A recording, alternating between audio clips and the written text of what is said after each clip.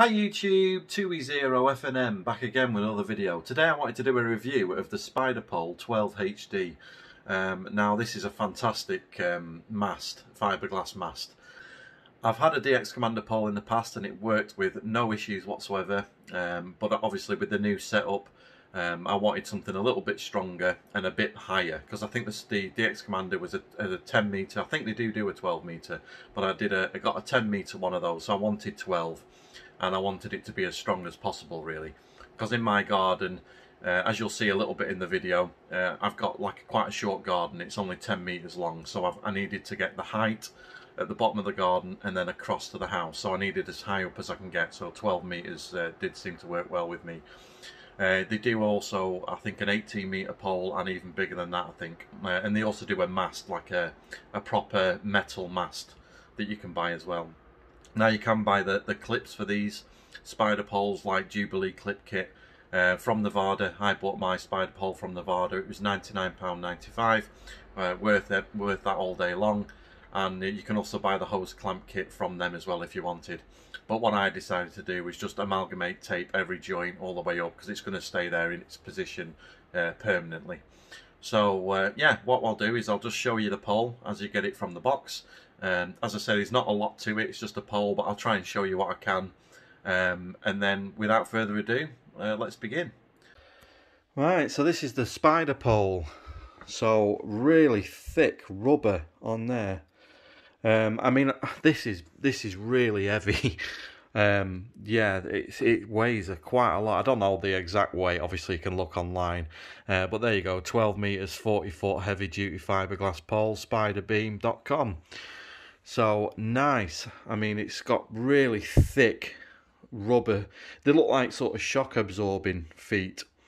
So obviously if you've got it on the ground and it's it's probably going to shock absorb a little bit by the look of it. But we'll take the top off and we'll we'll have a look at some of the elements.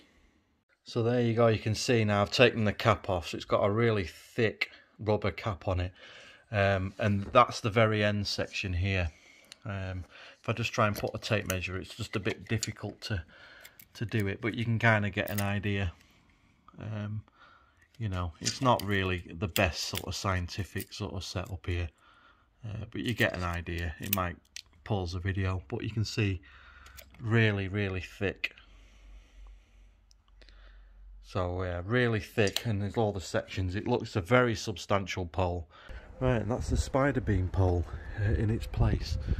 So as you can see there, I've got my uh, UK antennas end-fed half wave on it. It goes up 12 meters. It's got a pretty good bend on it uh, over to the house. So a uh, bit of a, a, look from the side angle. So it's uh, it's uh, it's fantastic. Really, really good quality Spiderbeam pole. So I highly recommend them. Um, they obviously do higher uh, ones than 12 meters. Um, but I'm I'm really impressed. I just put some amalgamating tape on the joints just to stop water getting in uh, between the sections. Uh, hopefully it'll just hold up all right, uh, and it's solid on there. These cable ties are really tight, um, and it's fine. The, the, the fiberglass is really strong, so it'll be fine. I hope. So thank you very much for, for watching the video. I've had the Spiderpole up for about a week now and I've had absolutely no issues whatsoever, uh, touch wood. Uh, it's been a fantastic pole, uh, really works well. We've had some quite high winds, it's been absolutely fine.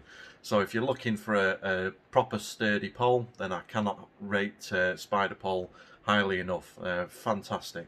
So sorry it was a bit of a short review. There's not, as I say, there's not much to it, but it stick around with the channel.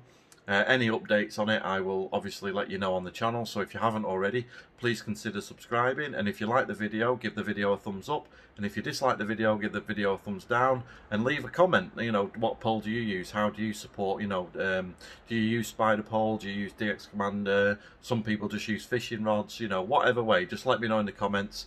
And uh, thank you very much for watching. So I've been 2E0FNM and you've been very kind to watch. 7 free.